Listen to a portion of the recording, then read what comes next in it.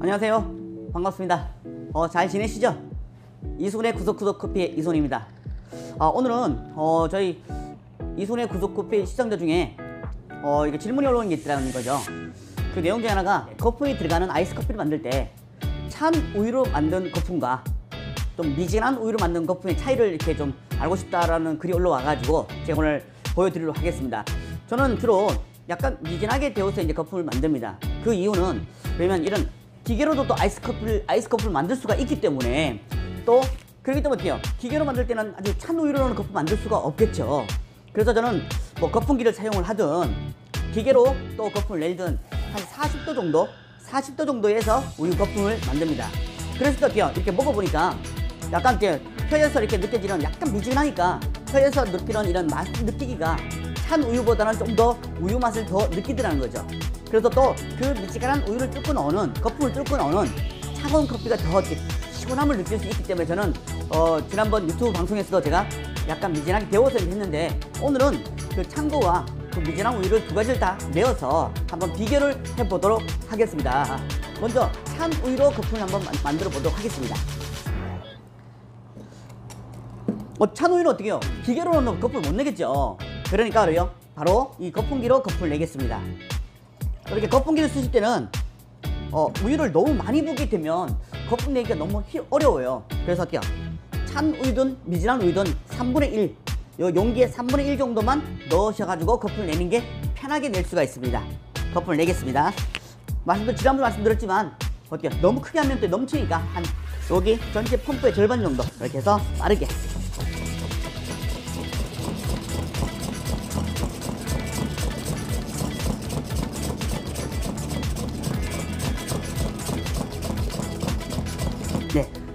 이렇게 지금 보면 어때요? 굉장히 거축하게 거품이 났죠. 이렇게 찬 우유로 거품을 내게 되면 조금 더 펌프 이거를 많이 해줘야 돼요. 한 배 이상은 해줘야만이 고거품이 나더라는 거죠. 어, 지금 이제 제가 이제 미징하게 데워서 이제 거품을 낼 건데요.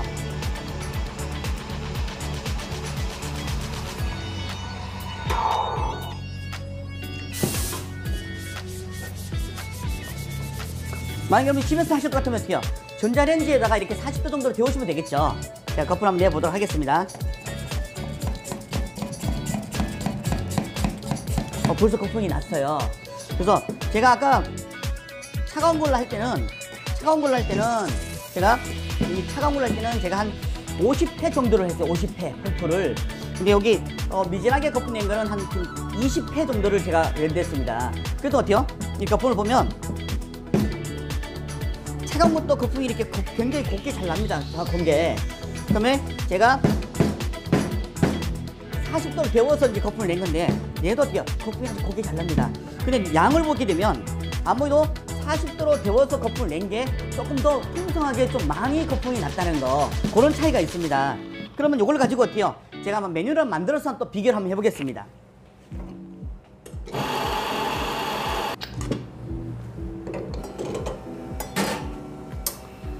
자 아이스니까 제가 얼음을 담고 요 라떼 거품이 있는 카페 라떼를 한번 만들어 볼 건데요. 요거는 지난번 제가 어, 유튜브 방송에서 어, 저희 한번 방송한 적이 있기 때문에 그거 참고를 하시면 될 것 같습니다. 자 우유를 먼저 붓겠습니다.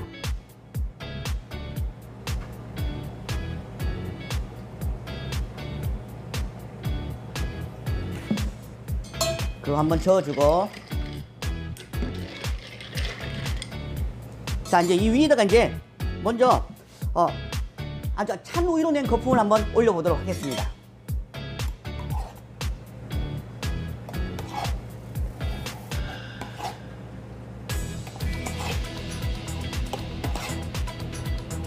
예, 여기는 이제 찬 우유로 이제 거품 올렸고 이쪽은 이제 미진하게 된 우유. 거의 이제 기계에서 제가 어, 아이스 거품 내는 방법도 알려드린 적이 있죠. 그래서 기계에서 40도 정도로 낸 거품을 한번 올려보도록 하겠습니다.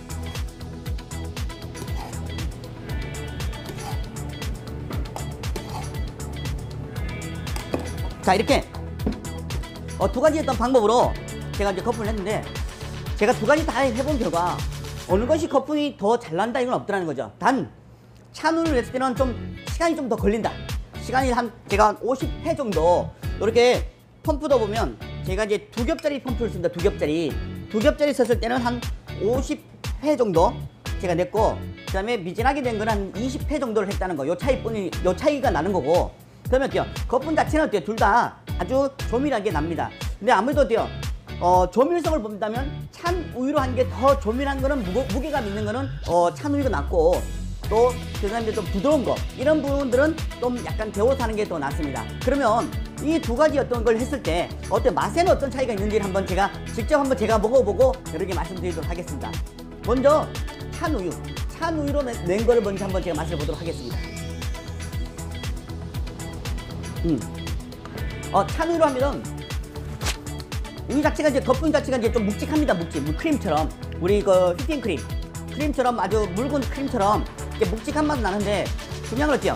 아무 우리 혀가 혀 자체가 아무래도 온도가 너무 차가우면 맛을 못 느끼지 않습니까, 그죠? 맛을 못 느끼다 보니까 어때요? 어, 우유의 어떤 그런 고소함 이런 뭐 부분들이 좀 덜하다 보니까 커피가 찬 커피가 올라왔을 때 어때요? 이 두 개의 조화로움이 약간은 조금 부족하다는 거 이런 어떤 느낌을 제가 받았고요. 그 다음에 미진하게 낸 우유를 가지고 한번 제 맛을 보도록 하겠습니다. 음. 미진하게 데웠기 때문에 어때요? 혀가 한 40도를 제가 데웠죠. 그러다 보면 어때요?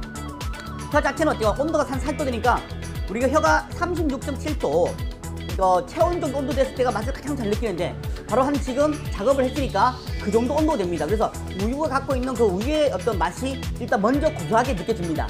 그러고 나서 어때요? 커피가 올라오니까 커피 찬 우유가 오히려 더 시원하게 느껴지는 그런 느낌을 제가 받습니다. 그래서 이 두 가지를 가지고 찬 우유로 내주냐 딱 미진한 우유로 내느냐 이걸 정하기는 너무 어려운 것 같습니다. 그러나 저는 어, 이 두 가지 중에 제가 추천한다면 저는 미진하게 거, 데워서 거품 내는 걸 저는 추천하고 싶어요. 그 이유는 좀 더 작업하기가 편하고 나중에 어때요? 기계로도 또 할 수 있기 때문에 어, 두 개 다 가능하다는 거. 그 다음에 좀 더 빠르게 낼 거품 낼수 있다는 거. 그 다음에 또 한 가지는 어, 마실 때 어때요? 그 우유의 어떤 그 특유의 느낌을 또 맛을 이렇게 좀 더 감지하기가 편하다는 어떤 그런 어떤 느낌 때문에 저는 약간 미진하게 데워서 이렇게 하는 걸 좀 많이 추천을 하고 있습니다만 어 절대로 찬 우유로 낸 이 거품이 맛없다고 볼 수는 전혀 없겠죠. 그래서 여러분께서 한번 요것도 제가 반복을 또 알려드렸으니까 한번 어, 제 영상을 또 시청하시면서 또 한번 직접 만들어 보시고 또 여러분께서 드셔보신 다음에 어쩌면 각자가 또 선택하시는 게 가장 저는 좋은 방법이라고 생각을 합니다. 뭐 이 정도면 제가 여러분께서 또 질문하시는 거에 내용에 대해서 어떻게 요 제가 답변이 되는지 모르겠지만 한번 꼭 한번 해보세요. 저도 이렇게 두 가지를 다 해서 이렇게 맛을 보고 나니까 약간 제 개인적으로는 제 개인적으로는 어 이렇게 미진하게 데워서 거품 내는 게 제 입맛에서 좀 더 맞아서 제가 이렇게 추천을 많이 해, 해드리고 있는 중입니다. 항상 늘 어때요? 가장 중요한 거는 내가 직접 만들어보고 내가 경험을 해본다는 거. 그리고 그걸 선택을 하면 어 이렇게 차가운 우유로 거품 내든 미진하게 거품 우유 내든 어떻게요? 자신감 있게 어떻게요? 추천할 수가 있지 않을까 그렇게 생각합니다. 항상 늘 이렇게 또 어, 질문을 남겨주시고 또 저 아이디어를 제공해 주신 여러분께 너무너무 감사합니다. 오늘 하루도 또 즐거운 하루가 되시길 바랍니다. 고맙습니다.